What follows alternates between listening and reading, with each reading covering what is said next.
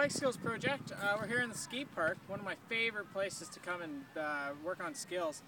Um, and I just want to talk a bit uh, about this concept of uh, the J hop or that bunny hop. And a lot of people, um, what I'm finding, the visualization um, with that dolphin hop, whereas we're not doing a bunny hop, um, if you just get people off their bike and get them to practice that J hop, that sort of push to the stomach and then equaling it out, so you get them actually doing that here beside their bike, and they start seeing like, oh yeah, like I, it has nothing to do with the rear wheel at all. It's just up and then push, and you can start getting people to do that. So little drill maybe to do before um, your practice sessions when you are doing those front wheel rear wheel lifts or progressing to that that actual log over. Um, just so you have that in mind and that movement with uh, the arm bias.